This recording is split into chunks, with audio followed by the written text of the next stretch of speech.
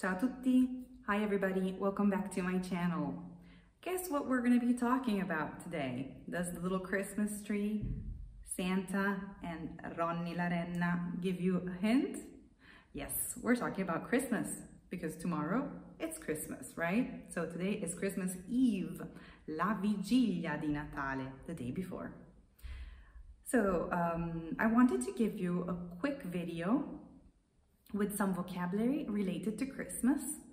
And I wanted to finish off this little video with something very cute. It's a poem that my three-year-old daughter Emma taught me. Uh, and it's a very cute little Christmas poem that has lots of Christmas vocabulary in it. Um, I thought it'd be cute to also say it to you and it would be really nice if you could uh, also try to memorize it and say it. If you're interested, and if you want to do this, um, send me the video of you saying this poem. I will edit the video and I will put it on YouTube. Um, it'd be really cute if we had a video of all of us saying this poem, obviously if you want to, okay?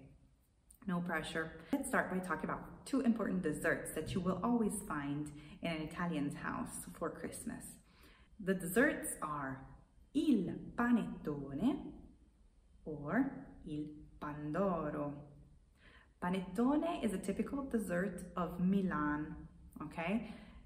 You should be able to find it year long because it's actually the dessert of the city of Milan, but it's super popular throughout the Christmas season. Um, it's super yummy, I think, uh, very buttery, lots of butter in there. Um, it has raisins, and it has also like little dried candied fruit.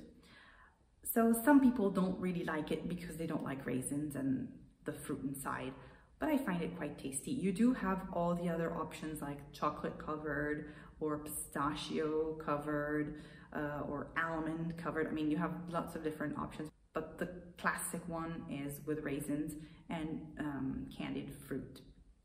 The other option is Pandoro, the origins of Pandoro are in Venice, so it's another regional dessert.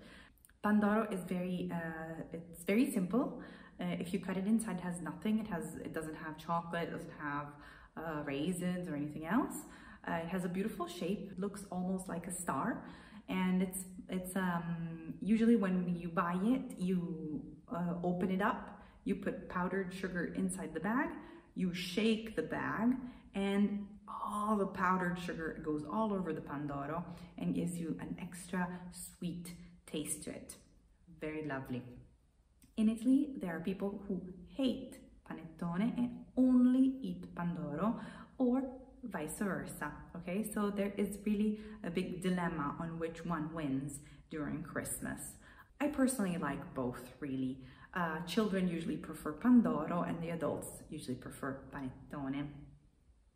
Another very yummy uh, dessert that you find basically in all of the households is what we call torrone.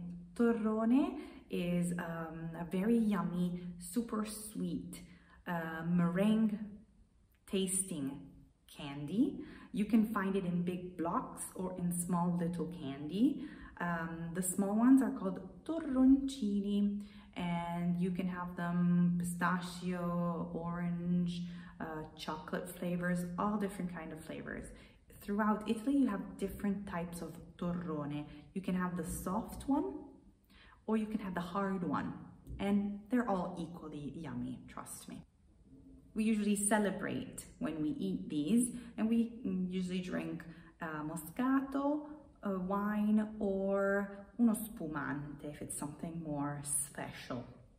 I'm not going to go into detail of what all the Italians eat during Christmas because um, each family and each region has a completely different tradition. Um, so for example, we in the north, I live in Lombardy, we usually celebrate on the 25th. So on Christmas Day, il giorno di Natale, we don't celebrate on the 24th. And while in the south, it's more common to celebrate during what we call La Vigilia di Natale, so the day before Christmas. I will celebrate tomorrow on the 25th, And I'm for sure we'll have some panettone mm -mm, and maybe a torrone. Okay, so let's talk about some vocabulary that is not related to food. We have l'albero di Natale. You can see behind me, I have my Christmas tree up. On the Christmas tree, you have i decori di Natale o gli addobbi di Natale. Ci sono le palline di Natale e le luci di Natale. Sulla punta, on the top of the Christmas tree, c'è il puntale. I know that I don't have one. I have like a decoration on top, mm, but um, I was too lazy to buy one. I will need, I will get myself one for next year. Underneath the Christmas tree, and there aren't any right now because Santa hasn't arrived yet, we will find on the 25th i regali or i doni.